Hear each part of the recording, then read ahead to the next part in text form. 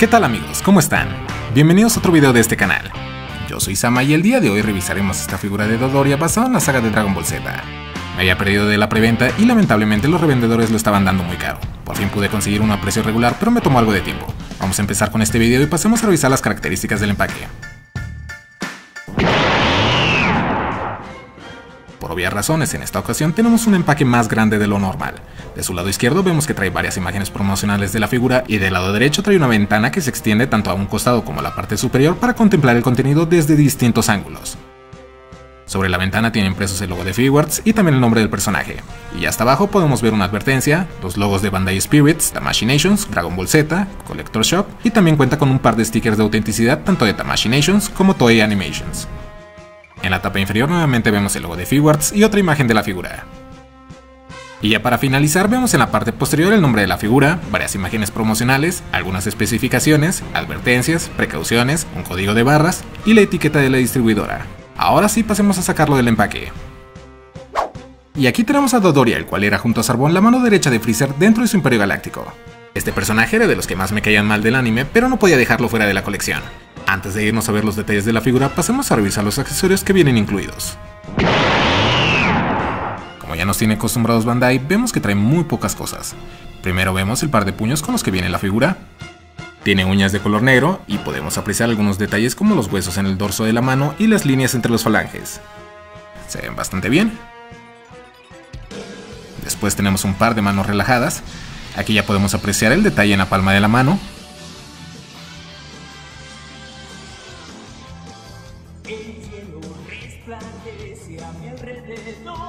Tenemos un par de manos en posición de pelea.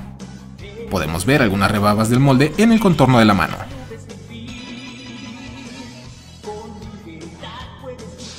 Y por último tenemos una mano con el dedo índice medio extendido.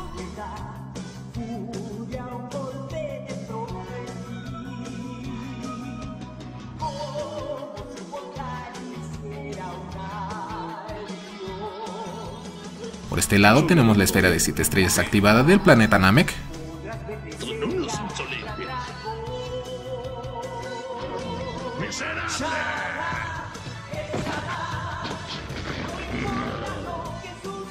Y también incluye su rastreador. El cristal es de color verde, se ve algo sencillo, pero está bastante bien. En todas las cabezas podemos remover la oreja izquierda para colocar el rastreador. Pasemos con el esculpido y empecemos con las cabezas. La representación del personaje es bastante buena, su piel es de color rosa, vemos que cuenta con unos picos de diferentes tamaños en la cabeza, tiene orejas puntiagudas, también se alcanzan a apreciar algunas líneas del molde por lo que no están tan bien pulidas, los ojos son sencillos pero se ven bien, vemos que el contorno de estos son de color morado al igual que los labios, y tiene una nariz muy pequeña pero se ve muy bien. Esta figura cuenta con tres cabezas intercambiables. La primera tiene una ligera sonrisa, la segunda tiene una sonrisa más grande mostrando los dientes y tiene el ojo derecho más abierto, y la última cabeza trae una expresión como si estuviera gritando. Ahora pasamos con el cuerpo y vemos que casi no tiene nada de cuello. Viste una armadura de combate de color azul con café, siendo esta distinta a la de los demás soldados de Freezer. Las sombreras son bastante grandes. Tienen buen movimiento, Aquí en medio tenemos otra parte de color café. Tiene buen esculpido en los músculos de los brazos. La mariposa tiene buen diseño. En los antebrazos vemos otros picos como los que trae en la cabeza. La articulación de los codos por enfrente se ve bastante bien y por detrás vemos que no quedan agujeros. Por acá vemos su pequeña espalda. Aquí tenemos más partes de color café. La parte superior es azul. Por aquí tenemos algo de rebabas.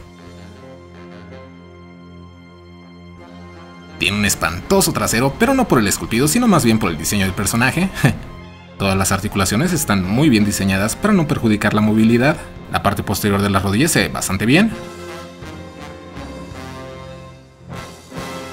Por enfrente también tiene muy buen diseño.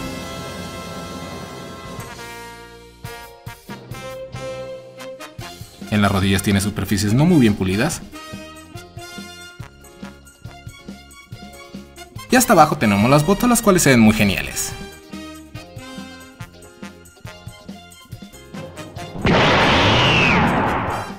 Articulaciones. La cabeza puede girar 360 grados, es de bola pero está un poco limitado por tener un cuello tan pequeño, pero así es el personaje. El cuello también cuenta con articulación, en mi caso viene un poco atascado,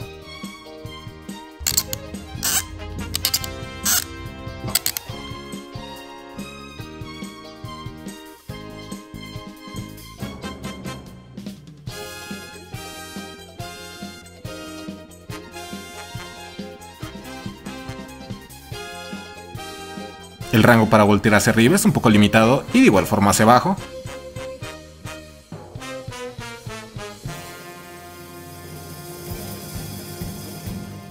Podemos levantar las sombreras. Los brazos alzan muy bien y pueden rotar. Tiene mariposa. Rotación en el bíceps. Dos puntos de articulación en codos articulación en la muñeca. Aquí tenemos otro punto, tiene buen movimiento, puede inclinarse un poco hacia los lados.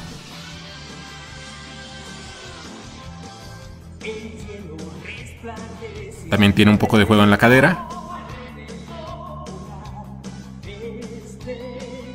El rango para atrás está un poco limitado, Hacia enfrente está un poco mejor, pero queda un gran hueco en la espalda.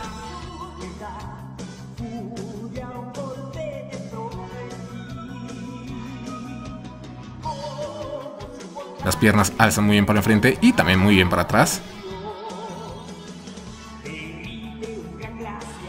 Con respecto al split no está tan mal. Rotación en el muslo.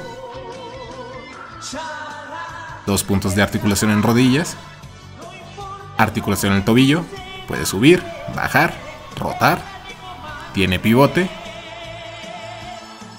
y articulación en los dedos del pie. Y ya para finalizar les dejo una comparativa con otras figuras para que puedan apreciar mejor su tamaño. Primero tenemos a Goku Super Saiyajin, después tenemos a Freezer y al final tenemos a Border. Esta figura de Dodoria cuenta con aproximadamente 16 centímetros de altura.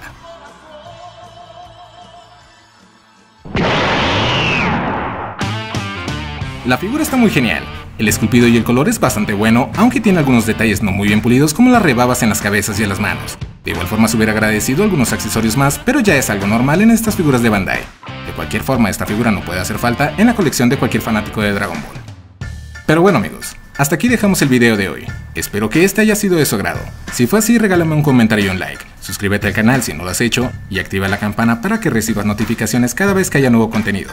De igual forma puedes seguirme en mis redes sociales para que te mantengas actualizado. Yo soy Sam y nos vemos en próximos videos. ¡Chao!